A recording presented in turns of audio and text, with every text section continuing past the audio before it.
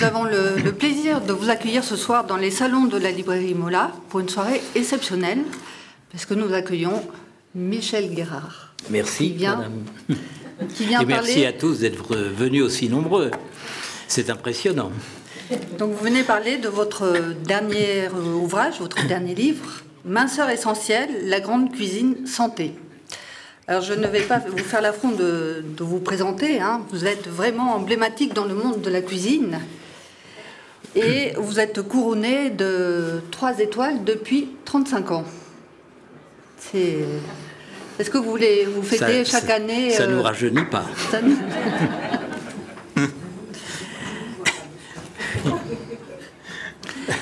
Alors, cher Michel Guérard, vous êtes Alors incontestablement. non, oui, pour répondre, non, euh, chaque année on ne fête pas l'événement parce que euh, quelque part euh, euh, on se dit peut-être que l'année prochaine elle ne sera plus là, donc Il n'y a pas de raison. Donc, vous êtes incontestablement le grand spécialiste de la cuisine euh, minceur. hein. Vous êtes un, un précurseur parce que dès 75, vous en avez euh, posé les- le fondement et vous avez d'ailleurs euh, sorti un premier ouvrage à ce moment-là. Est-ce que vous pouvez nous donner les, les motivations et le fil conducteur, qui, les motivations à l'époque et le fil Oui. Jusqu'à maintenant je, vais vous, vous annoncer quelque chose que vous ne savez peut-être pas, c'est que euh, tout de même, il y a eu un précédent. Voilà. Lorsque j'avais un petit restaurant à Paris, enfin en banlieue, à Agnières très exactement, qui s'appelait le, le, Pot-au-Feu, euh, un, petit restaurant euh, qui était tout à fait charmant, impossible à trouver, enfin, etc et qui était un peu la coqueluche des Parisiens. Et euh, j'avais un ami qui euh, avait monté un grand salon de coiffure avenue Montaigne.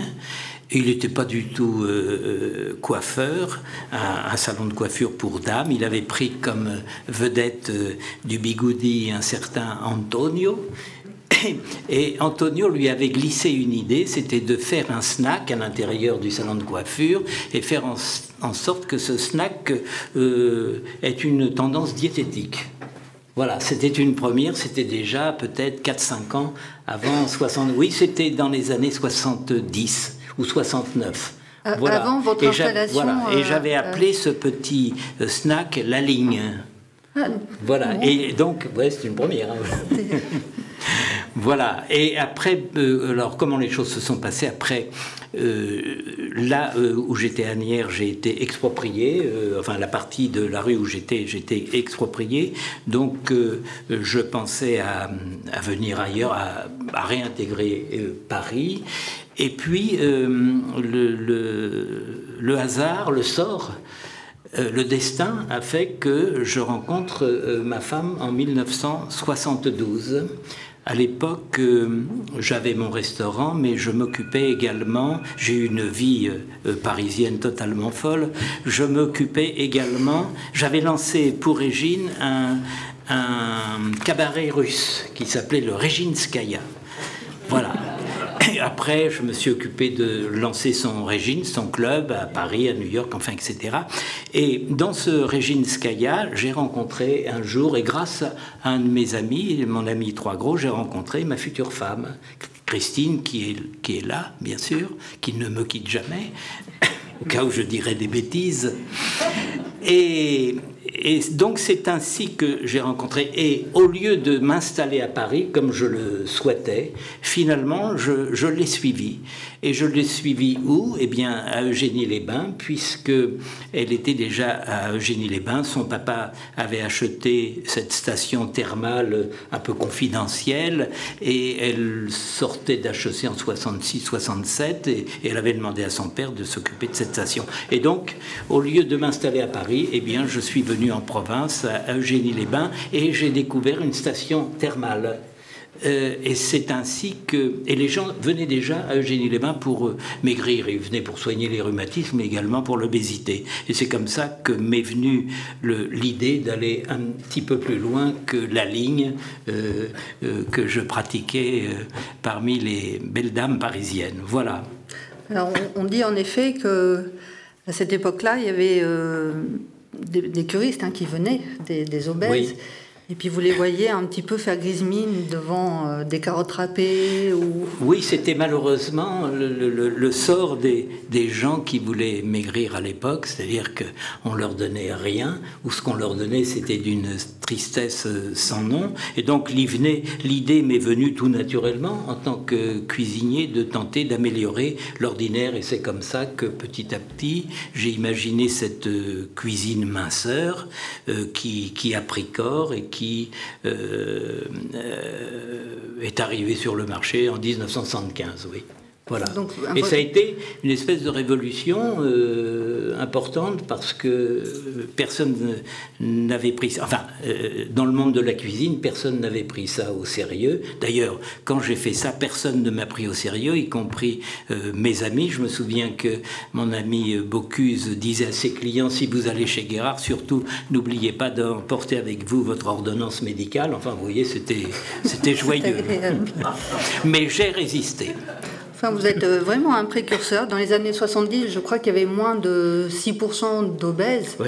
Et les chiffres à l'heure actuelle sont édifiants, hein, parce qu'on est en 2009 à plus de 14% d'obèses et, et 31,90% de, de, personnes en surpoids. Donc oui, oui c'est là, là, maintenant on est dans une véritable pandémie. On est dans Alors une pandémie. évidemment qui va avoir euh, euh, en dehors de, de euh, du fait de l'obésité, du diabète, des maladies cardiovasculaires, il y a un problème aussi qui va se poser, qui est un problème économique, qui va demain va payer tout ça.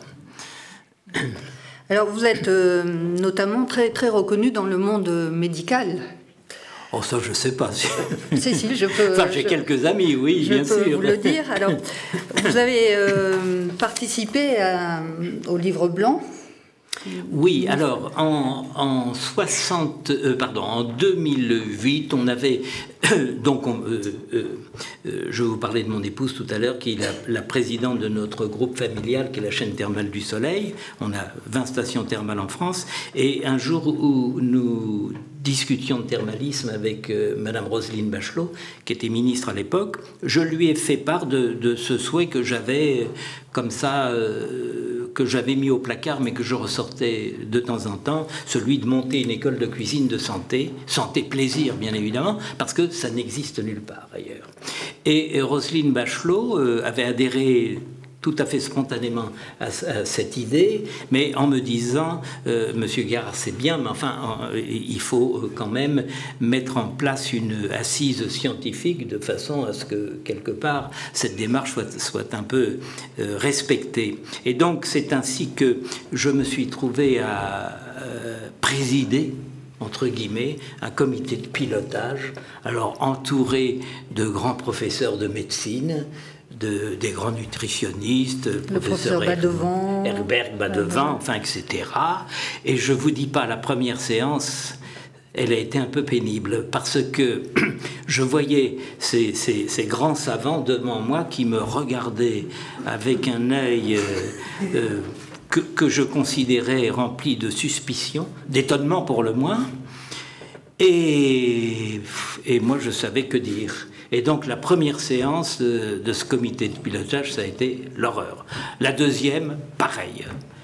Je me suis dit, mais jamais on va s'en sortir, ça se passait au ministère de la Santé. Et puis la troisième séance, il y a eu un, déclic. Euh, euh, un des professeurs qui était là, c'était une dame, euh, parle du foie gras. Et elle dit le foie gras, X calories au 100 grammes. Alors là, je, je me suis dit, tiens, une bonne occasion peut-être de prendre la parole. Donc ce que j'ai fait, et j'ai dit à cette dame, Madame le professeur, ce n'est pas tout à fait ça le foie gras, ce n'est pas X calories au 100 grammes. Elle me dit, mais comment, Monsieur Guérard, le foie gras, c'est tant de calories au 100 grammes? Je dis, non, tout ça dépend de la manière dont il est cuit. Et alors à ce moment-là, tous les professeurs qui étaient là m'ont regardé et se sont demandé d'abord si j'étais sérieux.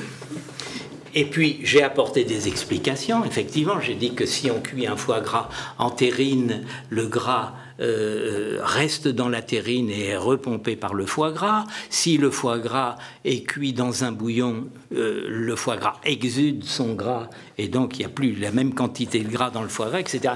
Et à ce moment-là, j'ai senti que j'allais enfin être... Euh, enfin, je ne veux pas dire que j'allais faire partie des leurs, mais que je serais écouté.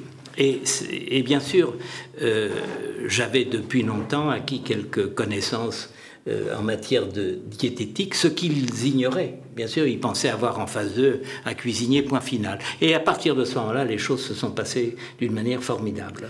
Oui, parce que vous avez participé au programme Nutrition euh, Santé, le oui, Oui, tout à fait, oui.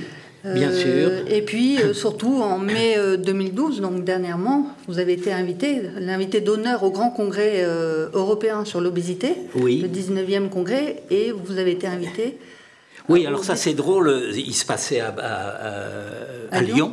à Lyon, et la personne qui l'organisait, c'est le professeur Martine Laville, m'a demandé, j'ai eu l'occasion de la rencontrer, et m'a demandé si euh, euh, j'accepterais de faire le discours d'ouverture.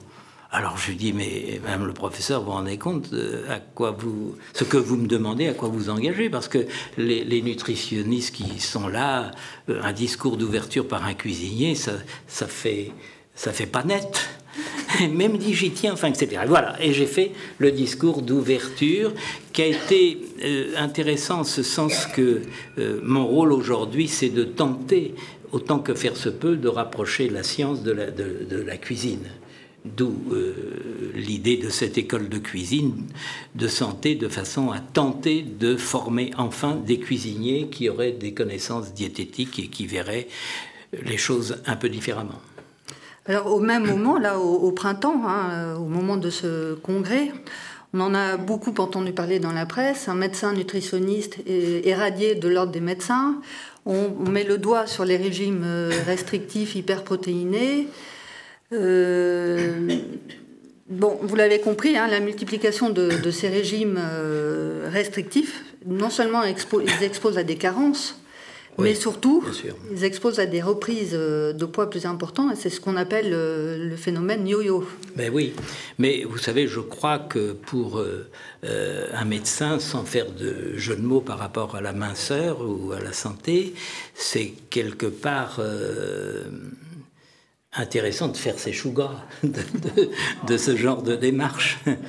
voilà, bon, mais je pense qu'il y en a qui sont sincères aussi, mais c'est vrai que en fait, le meilleur régime serait de ne pas faire de régime, de manger de tout euh, convenablement et en quantité euh, euh, normale, pas, exagérée, tout, simplement. Mais je pense aussi il y a quand même un grand déficit national mais, et international en matière d'alimentation. De, C'est qu'on on apprend à un bébé très jeune à marcher, après on lui apprend à lire, à compter, à écrire, mais jamais on lui a appris à manger.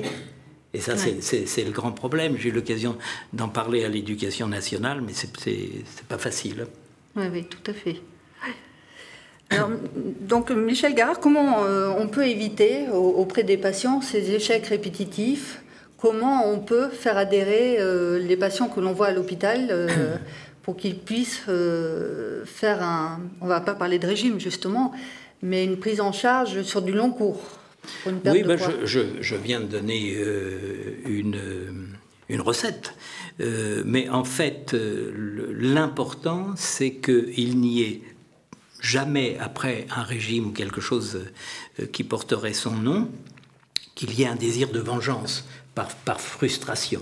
Donc il faut que ce que l'on mange même s'il s'agit d'un régime entre guillemets, eh bien, il faut que ce régime apporte du plaisir. Ça, c'est évident. Voilà, c'est le plaisir qui est au cœur de votre démarche. C'est le, goût et le plaisir. Bien sûr. Oui, oui. Dès qu'il y a toujours du plaisir, tout va bien. Alors, avant de, rentrer dans le vif euh, du sujet, hein, du livre, est-ce que l'on peut parler de, de votre enfance, qui a été quand même un, un moment important euh, dans votre vie parce que oh, bah, vous avez une, grand-mère euh, qui vous a un petit peu initié. Je crois que toutes les enfances euh, des enfants sont, marquent plus ou moins plus tard l'adolescent que, que nous devenons. moi, j'ai été élevé par une grand-mère qui, euh, avec mon frère, qui nous adorait. Elle, ne voyait que par nous, donc elle nous séduisait tous les jours. Et comme c'était une bonne cuisinière, ben, elle nous séduisait à grands coups de tarte aux abricots et de choses comme ça. Mais elle savait très bien faire la cuisine, euh, ce qui fait qu'on est devenu, euh, mon frère et moi, très rapidement gourmands, mais, mais aussi très au fait des choses en matière de goût. Euh, il y avait un verger tout près, oui, vous aviez oui, les fruits vous-même. Voilà. Euh. Et alors ça, bien sûr, c'était avant la déclaration de, de, la Seconde Guerre mondiale, puisque je suis né en 1933. Et donc en 1939, euh, mes parents avaient une petite boucherie en Normandie, à côté de Rouen. Mes parents sont venus nous chercher. Et là, bien sûr, les, les, pendant cette Seconde Guerre mondiale, les choses étaient un petit peu différentes. Bien sûr, on a, surtout en Normandie, donc on a évidemment été marqué par les restrictions. Bien évidemment, on ne mangeait pas toujours à, notre faim. Et puis également par la peur. Voilà. Ben, ça, c'est ma jeunesse, mais euh, il m'arrive quelquefois, et, ça ne me paraît pas euh, provocateur, de dire que finalement, j'ai eu beaucoup de chance de vivre ces moments-là, parce que après, on relativise tout. Sûrement.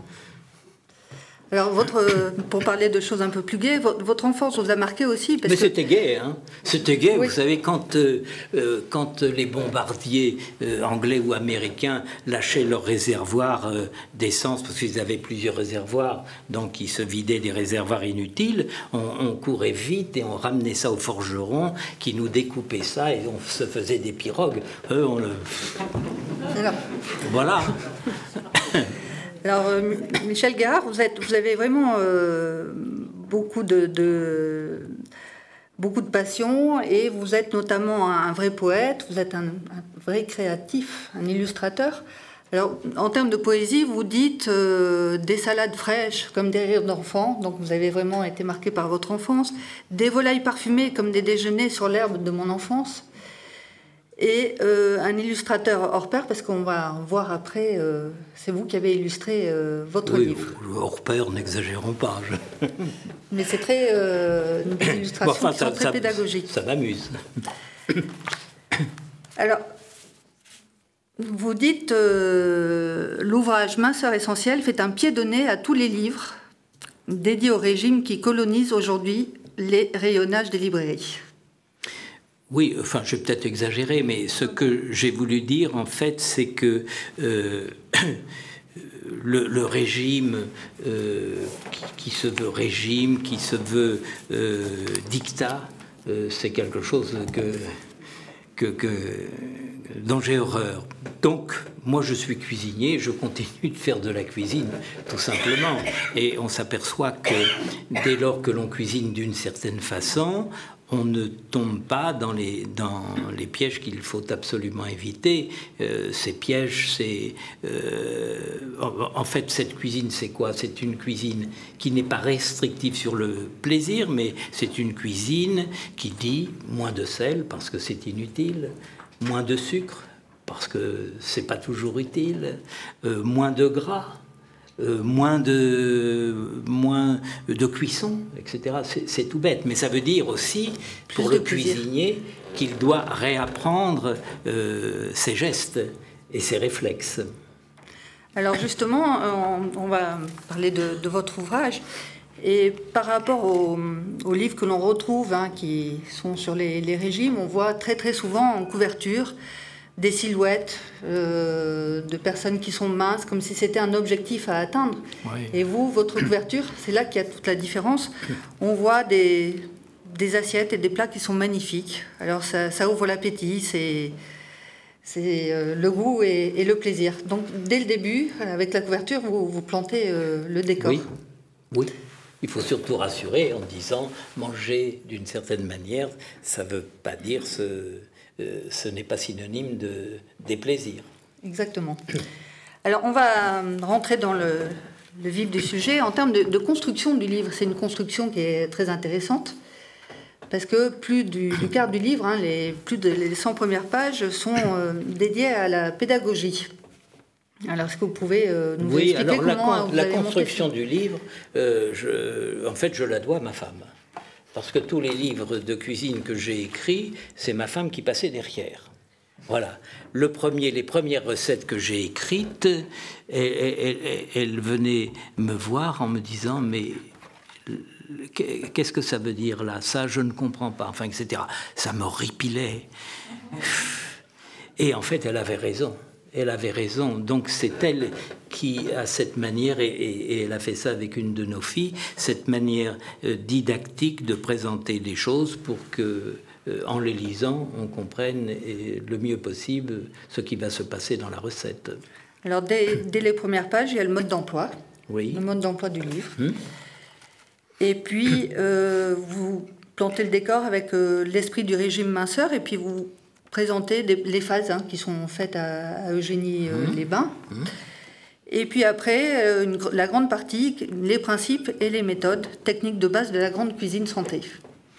Oui, c'est-à-dire que je prends comme base les techniques de la cuisine traditionnelle et j'explique euh, ce qu'il ne faut pas faire ou ce qu'il faut moins faire, tout simplement. il est évident que je regardais l'autre jour la télévision. C'est pour ça que c'est utile quand même de savoir euh, cuisiner un peu. Je regardais la télévision et je voyais une mère de famille, euh, c'était dans un HLM d'Épinay, je crois, euh, qui faisait revenir cinq saucisses de Strasbourg, comme ça, dans une poêle qui était grande comme ça, et avec 2-3 litres d'huile. J'exagère, mais à peine. À peine. J'étais malheureux. Euh, parce que cette dame, bien sûr, ne savait pas cuisiner, et j'imaginais les, conséquences d'une pareille cuisine. Alors, J'explique donc dans ce livre que c'est pas la peine de. D'abord, quand on fait cuire, que ce soit une saucisse de Strasbourg ou n'importe quoi, faut toujours prendre l'ustensile le plus proche possible de la taille du produit que l'on veut cuire. Et puis surtout, euh, on fait des économies en matière grasse. D'ailleurs, il n'y en a presque pas besoin. et, tout se passe bien. Mais de la même manière, voyez, je, parle de la saucisse de Strasbourg, on pourrait parler n'importe quelle saucisse qui sont des produits peu chers et qui permettent de nourrir la population. Parce que il faut savoir aussi que les obèses se trouvent souvent dans une population défavorisée. Très souvent, oui. Très souvent, hélas. Eh bien, euh, et j'en parlais l'autre jour avec euh, un un directeur d'une industrie agroalimentaire, je lui disais par exemple quel dommage qu'on ne réinvente pas la saucisse de Strasbourg. Pourquoi une saucisse de Strasbourg Ça doit avoir euh, X de graisse, X de viande, euh, un peu de glaçon, un peu d'eau, point final. il est là le problème. Et ça, c'est un problème de l'agroalimentaire. Comment euh, casser les habitudes ça, c'est le plus difficile à obtenir. Et comment faire travailler son imagination pour réinventer euh, ce genre de, de, produit qui pourrait euh, être nutritionnellement équilibré?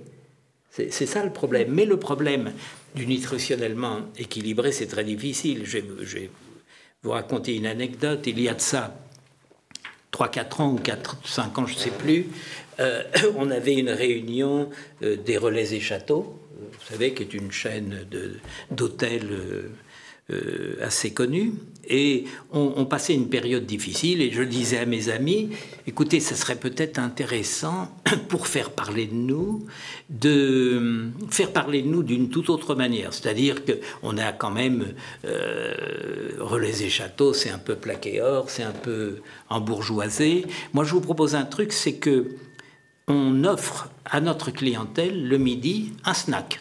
Voilà, les relais et châteaux font un snack.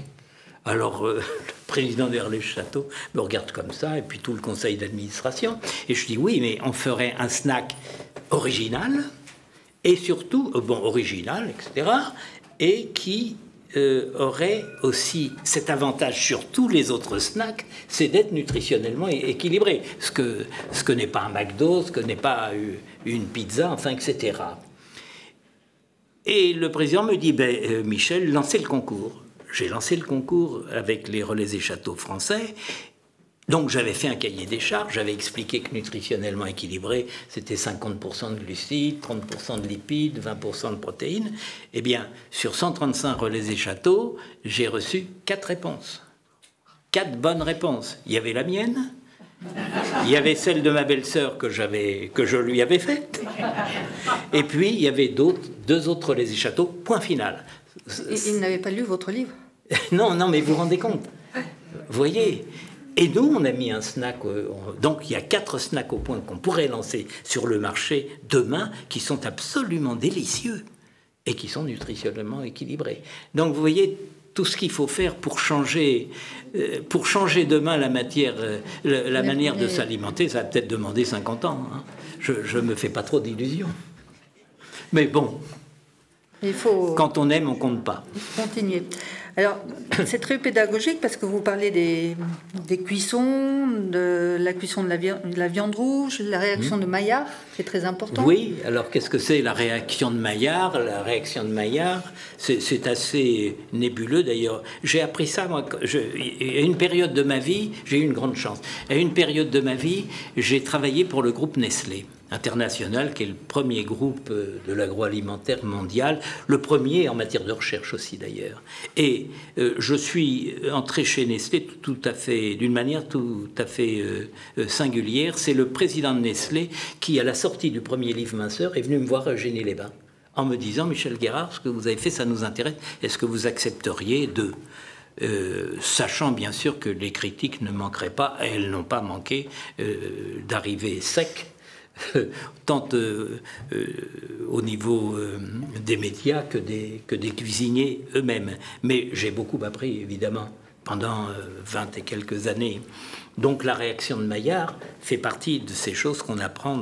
Alors la réaction de Maillard, c'est par exemple un biscuit croustillant, une biscotte bien colorée, c'est le café torréfié, vous voyez, c'est ce qui donne euh, un goût particulier. Alors, vous le savez peut-être mieux que moi, hein, euh, c'est une réaction des sucres sur les protéines, enfin, etc., que j'explique rapidement là-dedans. Et bien sûr, c'est quelque chose de, très agréable. Quand, par exemple, vous mettez un steak euh, sur la plancha, une côte d'agneau, bon, tout de suite, elle, elle va coloré, voire cramé. Évidemment, c'est ça qui est très bon. Alors, faut faire attention, on ne peut pas manger ça tous les jours, tout simplement. Voilà. Mais faut pas non plus s'en priver. Faut toujours continuer. C'est comme des frites, il n'y a pas de raison de se priver de frites ad vitam aeternam. Maintenant, on n'est pas obligé d'en manger deux fois par jour, c'est tout. Alors vous expliquez comment on cuit la, viande rouge, et puis surtout, ce livre, il est truffé d'astuces, euh, presque toutes les pages. Alors par exemple, vous expliquez euh, la, cuisine, euh, alors que je retrouve ma à basse pression. Euh, et bon, vous dites que tout le monde n'est pas équipé d'un appareil pour faire cette cuisson, mais je vais vous donner une astuce. Oui, oui. Alors ça, c'est, c'est, l'astuce d'ailleurs d'un professeur de médecine. professeur de Rennes, oui. Oui, professeur de Rennes. Alors, oui, vous savez, en cuisine maintenant, on cuit euh, ce que, très souvent ce que l'on appelle sous vide. C'est-à-dire qu'on met du poisson, on met de la viande dans un sac plastique, et puis on fait le vide. Voilà. Et après ça, quand euh, on a le, sachet tout prêt avec l'ingrédient à cuire, on peut cuire dans de l'eau et à basse température. C'est-à-dire que au lieu de, de, de, cuire par exemple une truite ou un morceau de saumon à la poêle, donc à une température qui est tout de suite très élevée, eh bien ce morceau de saumon, si vous le cuisez dans son sac plastique dans l'eau à 50 degrés, vous obtenez un poisson absolument délicieux parce qu'il n'est pas surcuit, il est rose, tendre et voilà, il n'y a pas mieux mais vous n'avez pas chez vous une, euh, une machine euh, à faire du sous-vide. Et alors le professeur de, de, Rennes, que je connais bien, c'est un, un, homme formidable et un cuisinier étonnant. D'ailleurs, il a écrit des livres de cuisine qu'il m'envoie chaque fois qu'il les écrit. Et il a eu euh, un passage de sa vie très pénible. Il a perdu sa femme. Et il a, il adorait sa femme, comme tous les hommes adorent leur femme, et il lui faisait à manger tous les jours. Et elle ne pouvait pas manger grand-chose. Alors il avait trouvé une combine euh, pour faire du sous-vide à sa manière, c'est-à-dire qu'il prenait un sac plastique, ordinaire, hein, et il mettait par exemple des petits cubes de viande euh, ou de poisson, enfin, etc. Il faisait le vide en appuyant comme ça euh, sur, les, sur les faces du, du truc, il pliait bien, il mettait une pince à linge, deux pinces à linge, et puis il mettait à cuire à l'eau comme ça, et il obtenait bien sûr des choses absolument délicieuses. vous, pouvez, vous pouvez faire pareil, vous verrez, c'est étonnant. Et il a écrit un livre euh, là-dessus qui est, qui, qui est formidable comme quoi le, les, astuces peuvent euh, tout à fait remplacer des choses qui paraissent extrêmement compliquées. il y a beaucoup, beaucoup d'astuces dans, dans, ce livre. Alors, euh, la partie qui m'a beaucoup plu hein, et qui plaît beaucoup, c'est la fameuse boîte à outils. La boîte à outils de la grande cuisine euh, minceur. Alors, comment vous avez eu cette idée Ce sont des, des bouillons, des liaisons, des assaisonnements qui sont différents, très parfumés, qui peuvent se mélanger, se rajouter. Enfin, vous allez expliquer votre... Alors, euh, on, fait une cuisine avec des bases. Hein. Quand on fait de la grande cuisine, on fait de la cuisine avec des bases. Alors, en, en grande cuisine traditionnelle, c'est le fond de veau, c'est la glace de viande, enfin, etc. Nous, nous partons de bouillon. Alors, Bien sûr, euh, quand par exemple vous faites euh, un, sauté de bœuf euh, au vin rouge, vous faites sauter votre viande, vous versez du vin rouge, peut-être un peu de bouillon, et puis vous faites cuire. Nous, nous avons pensé que on pourrait faire mieux en créant des bouillons parfumés. Et ces bouillons parfumés, ils servent à tout. Alors, on fait des bouillons parfumés, vous pouvez les inventer vous-même. Il y a des recettes, bien sûr, hein, dans, ce livre. Il y a toutes sortes de bouillons qui sont, euh, en, les, consommant, ils ont tous un goût différent. Alors, c'est très simple, c'est un jeu de construction. Hein. ou comme un peintre qui mélange ses peintures. Euh, on peut aller à l'infini. Donc, on donne une certaine quantité de bouillons qui servent à cuire, justement, nos éléments. Mais ces bouillons-là, servent, ne servent pas qu'à ça. Et en particulier, par exemple, et on, les, on les utilise dans ce livre pour faire des vinaigrettes. Alors, pourquoi? Parce que tout simplement un jour, je me suis posé la question, depuis euh, des centaines d'années, on fait de la sauce vinaigrette. Et qu'est-ce que c'est que la sauce vinaigrette? C'est trois ou quatre cuillères d'huile, et puis une cuillère de vinaigre. Point final. Voilà, c'est la sauce vinaigrette. C'est quand même. Un peu de sel et de poivre, quand même. Un peu de sel et de poivre, bien évidemment. Et puis, on peut mettre de l'huile d'olive à la place de l'huile d'arachide. Non, mais ça peut être très bon. Mais mon, mon idée était de dire comment pourrions-nous faire des sauces vinaigrettes qui seraient moins riches en huile. Et donc, on pourrait s'en mettre là. Et c'est comme ça que euh, l'idée m'est venue de faire des sauces vinaigrettes avec mes bouillons. Alors, au lieu de mettre trois ou quatre cuillères d'huile, je mets une cuillère d'huile et je mets deux cuillères de n'importe quel bouillon. Un bouillon que je euh, rends, euh, comment dirais-je, à la même texture de l'huile, c'est-à-dire je mets un petit peu de fécule dedans donc il prend de la densité, et je fais des vinaigrettes qui sont, franchement, je vous assure, bien supérieures à toutes les autres vinaigrettes. Si par exemple, euh, oh, par exemple, je, dis n'importe quoi, mais il y a une vinaigrette euh, à la verveine. Chez nous, on a ah plein de verveine dans le jardin. Ah oui, Alors, je fais un bouillon. Euh, je prends, je sais plus quel bouillon je prends. J'en ai tellement que j'en perds la raison et la mémoire. Donc je prends un bouillon et la cuillère d'huile que je vais mettre, elle ne sera pas d'olive, elle ne sera pas d'arachide, elle ne sera pas de je ne sais quoi, elle sera euh, faite, euh, cette huile, avec le, la, comment, la plante... Euh, La verveine. Donc je fais des huiles, et ça vous pouvez faire plein d'huile, comme ça, à partir de d'huile neutre, et je mets dedans des macérations.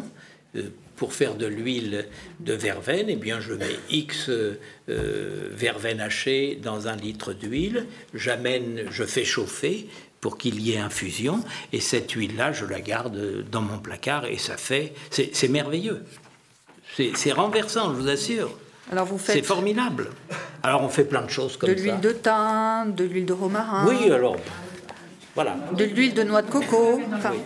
De l'huile de noix de coco, de oui. De alors vous voyez, le, fait d'avoir trouvé stupide, d'être euh, euh, astreint ou condamné à faire la vinaigrette euh, comme ça, la, la sauce traditionnelle, le fait de dire mais ça peut peut-être se faire autrement, ça change tout. C'est tout bête. Il suffisait d'y penser. Mais vraiment, ça change tout. Et alors, on, a, on obtient des vinaigrettes, qui sont des vinaigrettes extraordinaires pour assaisonner n'importe quoi, mais avec l'avantage aussi de pouvoir devenir sauce. Parce que ces vinaigrettes se réchauffent et deviennent sauce. Vous voyez, c'est donc la boîte à outils. Je veux dire qu'il y a plein de trucs comme ça. C'est amusant et efficace. Oui, bah, on a des mayonnaises qui sont très, très légères, oui. Alors vous avez... Euh, Délicates. Mais on, pourrait faire pareil, une mayonnaise avec euh, le, cette vinaigrette de verveine. Alors il y a la, vinaigrette de la mariée, la vinaigrette sylvestre, la vinaigrette oui, parce qu'il y a, des champignons, enfin, toute une déclinaison. Avec des champignons secs, par exemple. Alors effectivement, il faut... Euh, on va pas parler trop de, chiffres et de, calories, mais une cuillère d'huile, c'est quand même 90 euh, calories. Donc quand on en met trois, euh, ben on imagine, là, vous n'en mettez, vous n'en mettez qu'une. Donc euh, c'est vraiment. Et c'est meilleur. Et c'est Surtout, c'est meilleur. C'est ça qui est intéressant. parce que ça pourrait être moins bon, mais non, c'est meilleur. Alors après, les, toujours dans la, boîte à outils, hein, vous faites les, tout ce qui est liaison et coulis coulant. Oui.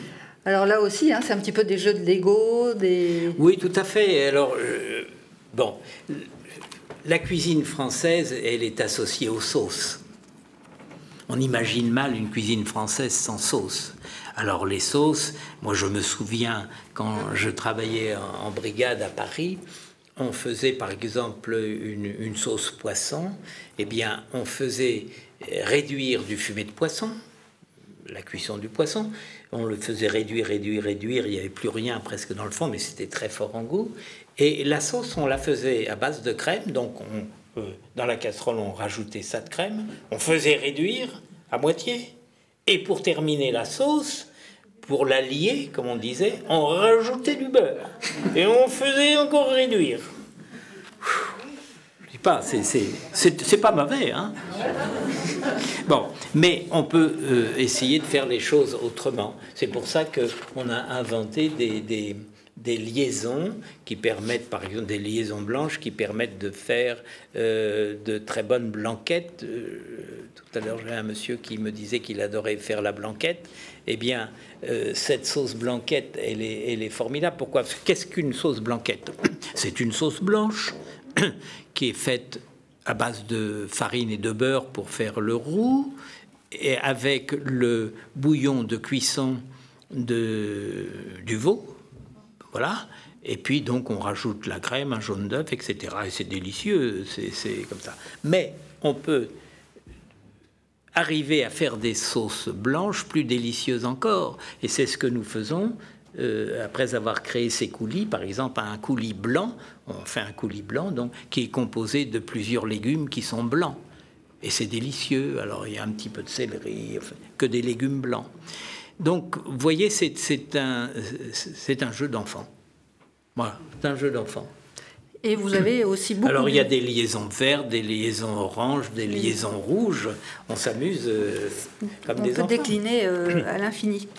Alors vous avez de l'humour parce que il y a un coulis euh, coulant exotique hein, qui me plaît beaucoup, qui est à base de mangue. Alors je ne vais pas donner la recette, hein, mais il est on la regardera après, il a l'air très bon. Et vous mettez euh, ce coulis coulant fait des merveilles dans une salade de volaille grillée, ou en liaison dans une salade de nouilles asiatiques, ou encore en remplacement de la mayonnaise dans un sandwich au poulet pour lui donner du chien. Ah oui. et oui, et, voyez, parce que, oui, parce que dans un sandwich au poulet, on n'aurait pas idée de faire de la mayonnaise. Euh, euh, enfin, on mettra de la mayonnaise, mais cette sauce à base de mangue est bien supérieure en goût à la mayonnaise traditionnelle. Donc c'est une cuisine qui chante, qui... Qui chante, oui. comme les oiseaux. Oui, comme les oiseaux.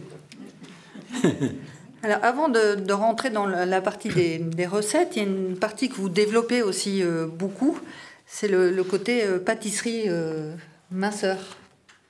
Oui, alors la pâtisserie, c'est difficile parce que, bon, la pâtisserie, là, il y a beaucoup de réactions de Maillard, la pâtisserie, mais la pâtisserie, bon, c'est de la farine, du beurre, des œufs, enfin, etc., oui.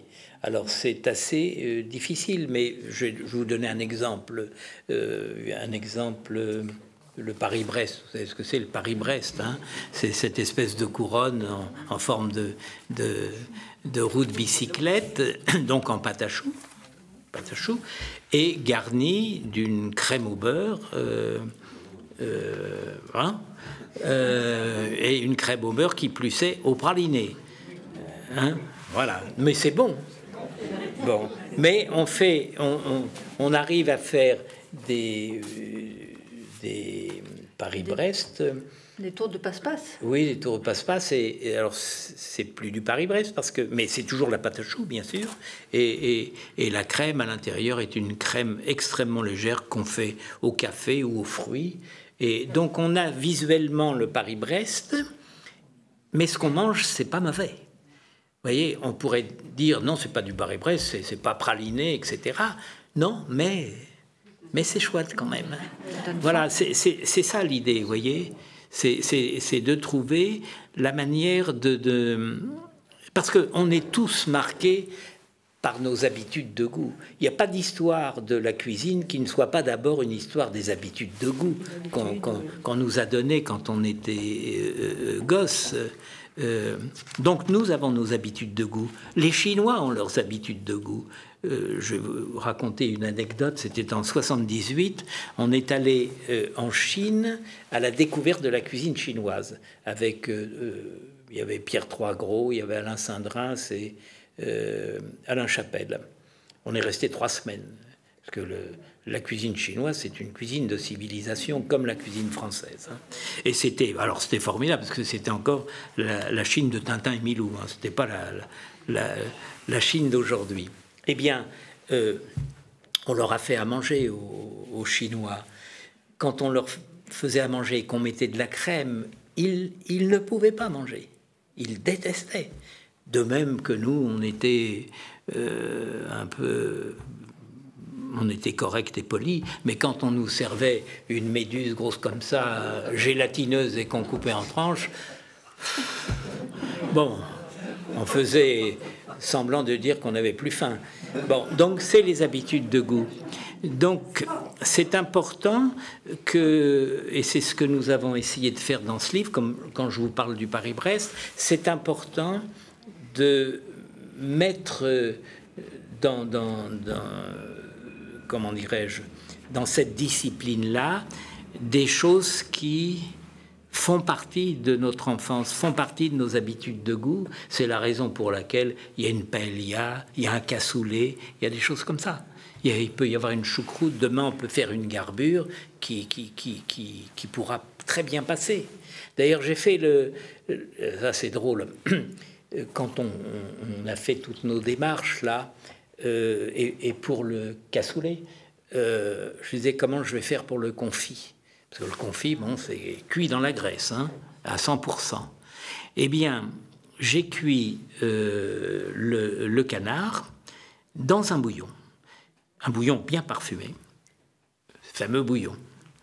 Et j'ai rajouté une cuillère de graisse, mais presque rien. C'est-à-dire que la Grèce représentait 10% du volume général. C'est meilleur. C'est meilleur. Quand vous avez mangé ça, vous n'avez plus envie de manger l'autre confit. Vous voyez Donc c'est très intéressant. Il faut donc se méfier. il en est du, du, confit comme de la sauce vinaigrette. Voilà, on a toujours fait comme ça et on ne pense pas faire autrement.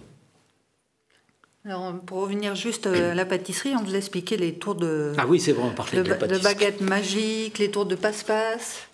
Vous, vous, adorez ça les... Oh bah c'est drôle, oui. Bah, oui, parce que la, la, moi j'ai commencé comme pâtissier. Oui. J'ai d'abord été pâtissier. Donc au crayon, me semble-t-il euh, Oui, j'ai été entre autres au, crayon, oui. Euh, la pâtisserie, c'est quand même quelque chose de formidable quand on est gourmand. Donc c'est difficile quand même à, se passer des choses. Donc on, on, a fait, on a créé des desserts qui sont, pour la plupart, je trouve, très intéressants et qui ne pénalisent pas le plaisir. Alors justement, vous, vous expliquez les différentes sortes de sucre, hein, euh, le sucre habituel, le fructose, euh, les remplacements, le miel. Oui.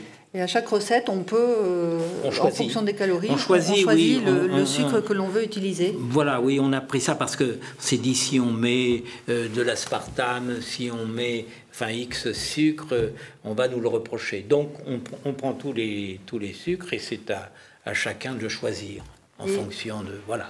Par exemple, il y a une polémique sur l'aspartame. Euh, il n'y a pas longtemps, bon, moi je ne sais pas, je ne suis pas à même de dire si euh, cette polémique est justifiée ou pas. Euh, c'est les, les savants qui peuvent le dire. Hein. Donc pour chaque utilisation de sucre différent, il y a les calories. voilà, tout est marqué. Hein. Les niveaux de par exemple, il y a le fructose. Bon, le, le, fructose, c'est un, un, sucre qui a cet avantage de sucrer deux fois plus que le saccharose. Donc c'est intéressant parce qu'au passage, on perd grosso modo hein, la moitié des calories. Hmm. Et les recettes sont bien expliquées avec... Euh, avec tous les sucres, hein, on peut faire ce que l'on veut. C'est euh, son libre choix. Alors quelle est votre recette? Vous avez parlé beaucoup du, cassoulet. Oh, je parlais du cassoulet, oui, comme ça, parce que euh, oui, parce que ça surprend un peu cassoulet. Alors bien sûr, on triche, évidemment. Alors le cassoulet que l'on fait, euh, je l'ai dit, le confit, euh, c'est un trompe-couillon. Euh, il, est cuit non pas dans la graisse, mais dans un bouillon très parfumé avec un petit peu de graisse. Je ne peux pas laisser la quantité de haricots. C'est pas possible, même si le haricot a à son intérêt. Donc dans la présentation, on a l'impression d'avoir un cassoulet, mais c'est un cassoulet qui fait je sais plus combien de calories. Enfin, c'est rien du tout. C'est euh, par rapport à un cassoulet. C'est quatre fois euh, moins qu'un cassoulet euh, ordinaire. Simplement que je fais un mélange de haricots et de légumes. Et ces légumes, je m'arrange avec des petites cuillères spéciales à ce qu'ils aient la forme des haricots. Donc voilà. Donc c'est très drôle. Mais et, en plus c'est très et en plus c'est très joli. Il ne fait que 360 calories. Ben vous vous rendez compte, 360 calories. Hein, bon, un cassoulet ordinaire c'est c'est 1400. Hein. Voilà, donc tout ça c'est rigolo et on on surprend. On surprend. L'autre jour. Euh, N'arrêtez pas de surprendre. oui, mais. Vous avez fait un oui. gazpacho avec des fraises aussi. Ah oui, mais c'est bon. Oh, c'est un délice. C'est bon. Ah oui. Hein. voilà, c'est tout bête. Bah oui, c'est tout bête. C'est rouge. Alors pourquoi pas faire un gazpacho avec un, un, fruit rouge et la tomate est un fruit. C'est hein. délicieux. Alors la tomate plus les fraises, c'est bien meilleur que la tomate toute seule. Oui. Hein, franchement. Ça, lui donne du chien Oui. Et alors l'autre jour, alors l'autre jour, il y a eu un, un numéro de de, par le Figaro, Figaro euh, du dimanche, vous savez. Euh, le magazine Magazine. Et donc on s'est retrouvé à Paris avec. Euh, il y avait Thierry Marx, il y avait Anne-Sophie Pic, il y avait Michalak, le pâtissier du Georges V, et, et, nous. Voilà. Et donc on nous demandait de faire un plat minceur. Donc j'ai fait le cassoulet. Et là, ils ont été bluffé, émerveillé et enchanté. Il s'y attendait pas. Et Maurice Baudouin, qui est le chroniqueur gastronomique, euh, il a, il a saucé jusqu'au fond de l'assiette. Alors, il y a aussi Donc sympathique, c'est rassurant pour moi. Alors il y a une partie aussi euh, en aide pratique sur les ustensiles de préparation, les techniques de découpe. Vous avez fait des schémas qui sont absolument merveilleux. Oui. Quel est votre ustensile préféré? Oh, je dirais qu'il y, y en a deux que, dont je ne me sépare jamais, c'est la cuillère et la fourchette. c'est vrai? Et pour goûter, vous aimez bien aussi euh, goûter avec le ah doigt Ah bah je goûte avec le doigt. Faut pas le dire, hein, surtout n'allez pas le redire. Mais bon, ça je peux pas m'en empêcher. Voilà. mais, la cuillère et la fourchette, c'est vrai. Euh, cuisiner, c'est. Euh, regardez, quand on cuit des pâtes, les, Italiens sont formidables pour, pour cuire les pâtes. Nous, on ne sait pas bien, mais oui. Alors, vous savez comment on, reconnaît un, un, macaroni ou un spaghetti al dente? En fait, quand on le prend comme ça, il est cuit. S'il reste un, tout petit filet blanc au milieu du spaghetti, c'est qu'il est al dente. C'est-à-dire que jusqu'au bout, ça n'a pas été complètement cuit. Voilà. Ah. Et alors, donc, le, par exemple, les, alors là, on s'écarte de la cuisine, mais enfin, non, c'est toujours de, de, la cuisine. Euh, quand on, euh, on prépare les spaghettis ou des tagliatelles, par exemple, avec une fourchette, c'est formidable. Alors, ça, je, vous donne la combine. Surtout, ne jetez pas l'eau de cuisson de vos pâtes. Hein, parce qu'elles elles sont amidonnées et, et voilà. Il s'agit de, de, mettre une cuillère d'eau, de rajouter un petit peu de beurre et c'est parfait. Et donc là, la fourchette, voilà. Donc la fourchette et la cuillère. Alors il y a aussi euh, quelques pages sur les, céréales. Hein, vous expliquez. Euh, et vous utilisez beaucoup de céréales aussi qu'on a qu'on n'utilise plus. Bah, les céréales, bon, d'abord, il euh, faut dire que les céréales sont des glucides composés. Hein. on disait lent à une époque, enfin bon, on dit composés. En fait, c'est bon, c'est les céréales, c'est il y, en a 7 ou 8, je pense, qu'on traite Un petit peu plus, oui. Voilà. C'est ce qui permet, la céréale, euh, c'est ce qui permet de ne pas avoir faim. Comme c'est un, un, glucide lent, euh, c'est quelque chose qui est très long à digérer et donc, par conséquent, qui reste dans l'estomac un certain temps. Et l'après-midi, si vous mangez un plat le midi avec un peu de céréales, et il y a des recettes dedans, euh, et ben vous n'avez pas faim. Ça, c'est une astuce formidable. heureusement, vous n'avez pas mis l'avoine. Non. non, parce que je ne sais pas pourquoi. Non, mais je fais allusion à d'autres régimes où l'avoine est utilisée ah oui, oh, bon, oui. d'une manière très, très, très abondante. Non, mais cela dit, c'est bon ou pas bon. Moi, je prends que les choses qui sont bonnes. Non, mais c'est important, ça. C'est sous prétexte que euh, l'avoine ferait mieux hennir et, et, se lever le matin de bonne humeur. Bon, pourquoi pas, mais si c'est pas bon à manger, euh, c'est pas mon truc. On est toujours dans le plaisir. Alors il y a aussi un, glossaire. Est-ce que vous avez euh, inventé un, nom qui est reconnu dans la cuisine ou? Non. Non? vous n'y pensez pas un jour Non, un nom comment? Euh, il y a toujours les, on voit un petit peu les mêmes euh, noms qui viennent, ciselés, compotés, ah bah oui, parce que c'est parce que c'est traditionnel, oui. Oui, c'est vrai. Tiens, c'est une, euh, oui. On pourrait dire Gérardé ou. Oui. je sais. Oui. Vous pas encore inventé. Mais non, franchement, je n'ai pas envie de pousser la vanité jusque-là. Donc 140 recettes qui sont absolument. enfin, je les ai pas toutes goûtées, hein, mais quelques-unes qui sont délicieuses. Elles sont bonnes, oui, et je, pense, enfin, je, trouve qu'elles sont bonnes. Je me remonte le. Mais c'est vrai, et, et, je crois qu'on est parti sur une là, sur quelque chose de, de, de, fort, parce que euh, on continue de faire des plats nouveaux sur cette base-là, et ça réussit bien. Donc je crois qu'on a trouvé le bon filon. Donc vous allez continuer après, hein, il va y avoir d'autres recettes. Ah oui, oui, oui, bien sûr, on en crée tous les jours, on s'amuse. Et à, qui s'adresse euh, ce livre en fait? Aux cuisiniers. Si déjà euh, ils le lisaient bien, ça leur permettrait de modifier, comme je disais tout à l'heure, euh, leurs réflexes et leurs gestes, et donc de cuisiner d'une manière plus saine, et, mais procurant toujours autant de plaisir. Au grand chef, et puis... Oui, oui, oui. c'est le but de l'ouverture de notre école de cuisine, hein. tout simplement. Michel Garage, j'avais aussi euh, une question à, vous poser. Vous avez repris un, château, un vignoble, le château Bachen. Oui. Euh, vous l'avez replanté, donc vous faites un, vin qui est délicieux, château Tursan. Et euh, quand, quand vous avez des, des, personnes qui viennent chez vous faire un, petit séjour diététique, alors le vin, comment il est positionné? C'est le dimanche C'est Non, on peut en prendre euh, un petit verre tous les jours. Un petit verre? À chaque repas. À chaque repas? Oui, oui, oui, hein? bien sûr. C'est ce qu'on c'est ce qu'on a toujours fait jusqu'à maintenant d'ailleurs. Il y a des qualités dans le vin là. Ah non, mais tout à fait, tout à fait. Et le vin, euh, oui, Dieu sait si c'est dur à faire du vin.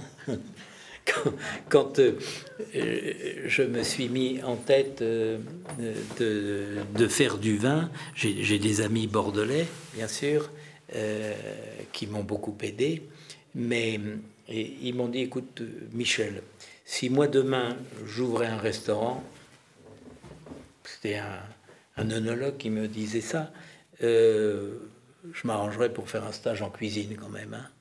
Alors, euh, il m'a incité. Donc, pendant sept mois de mon existence, je suis allé à, Bordeaux pour euh, essayer de comprendre comment on faisait le vin. Et ma foi, je suis très, très content de ce que j'ai fait parce que finalement, il y a une grande analogie entre le vin et la cuisine. Faire du vin, c'est une forme de cuisine plus difficile, bah, d'ailleurs, parce que n'y a pas de retour possible. Hein. Faut, quand on a pris une décision, on peut plus revenir. Alors qu'un plat, on peut rajouter un peu de sel, un peu de sucre et n'importe ah, quoi. Mais quand on en met trop, non, non, bien sûr. Mais c'est une école euh, très intéressante euh, et qui euh, quelque part m'a apporté à, à, ce que je savais déjà une complémentarité intéressante. Une minutie, une complémentarité. Oui, c'est intéressant. Quel a été euh, votre plus grand euh, moment gastronomique? Alors, on a entendu tout à l'heure le moment le plus mauvais avec la méduse en Chine. Est-ce qu'il y a un moment euh, très fort qui vous a marqué? Un moment délicieux? Il y a toujours des moments qui font dire à un cuisinier quand un autre cuisinier lui montre un plat, s'il est formidable, on se dit, mais on ne le dit pas tout haut, s'est dit merde, ça j'y avais pas pensé. Mais euh, en Chine, on a, vu des choses assez extraordinaires. Et par exemple, euh, euh, un plat que j'ai traduit par la suite, qu'on a fait quelques années, que je vais remettre parce que c'est intéressant. c'est un, crabe. Il y, a, eu des choses intéressantes. C'est un crabe que les Chinois mettent dans un vase en grès, euh, ils mettent des crabes comme ça vivants, et puis ils versent dessus euh, une eau de vie, à base de riz sûrement, et puis ils mettent ça euh, sous terre pendant trois semaines. Voilà. Et quand on mange le crabe, c'est quelque chose d'extraordinaire. ça sent le crabe et ça sent l'eau de vie. C'est drôlement intéressant. Et un jour, je cuisais, mais longtemps après, 20 euh, ans après, je cuisais des homards. Et alors, ces pauvres bêtes, vous savez, les homards, ils se battent. Et je disais quand même, on est cruel. Et euh, ça m'est revenu cette idée-là. Et un jour, j'ai pris un homard, et puis je l'ai plongé délicatement dans la fine blanche d'Armagnac. Et alors, le homard, il, s'est laissé aller et il est mort ivre. Il me semble au dernier moment, j'ai l'impression qu'il m'a fait un coup d'œil comme ça. voilà, et j'ai fait un plat un peu différent bien sûr, mais qui, mais qui est très intéressant et, et, qui a révélé les, les mêmes euh, euh, structures de goût, c'est-à-dire le goût du homard et le goût de l'eau de vie. C'est marrant. Si vous pouvez, moi je vous le conseille très très fortement. Le homard ivre du pêcheur, c'est votre grande, une de vos grandes spécialités. je ne l'ai pas mis, ça fait deux ans que je ne l'ai pas mis, mais je vais le remettre parce que c'est bon.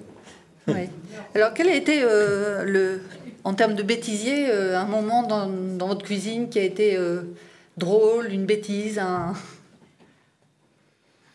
C'est plein de bêtises. Tous les jours, on fait plein de bêtises.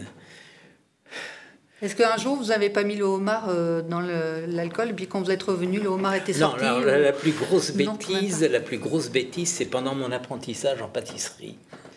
Le, c'était dans les années euh, donc euh, à la fin des années 40 et donc j'ai fait mon apprentissage chez un pâtissier traiteur. Et le dimanche matin, nous faisions toutes sortes de gâteaux, mais en particulier des pitiviers. Vous savez, c'est ce gâteau rond avec des jolies cernes dessus, en pâte feuilletée et fourré de crème d'amande.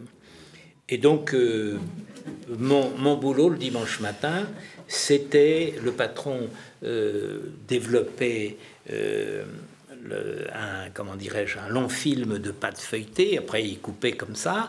Et moi, mon rôle, c'était de mettre la crème euh, mélangée de crème d'amande et de pâtissière au milieu. Puis après, il recouvrait, voilà. Et donc, comme tous les dimanches, très en forme, j'avais fait mon mélange de crème pâtissière et je, je garnis mon pitivier. Et on met les pitiviers au four. Et alors, voilà, bon. Et puis on, fait autre chose. Et puis, on était là, tous, on était 7-8 à travailler, disant, mais il y a une odeur là qui n'est pas, qui est pas du tout normale. Qu'est-ce que c'est que ça? Et alors une odeur qui s'amplifiait, qui s'amplifiait. Alors le patron qui prenait toutes les couleurs du caméléon, nous aussi d'ailleurs, et puis finalement, on s'est aperçu que ça venait des pitiviers. Et au lieu de mélanger la crème d'amande avec de la crème pâtissière, j'avais simplement mélangé la crème d'amande avec de la sauce poisson.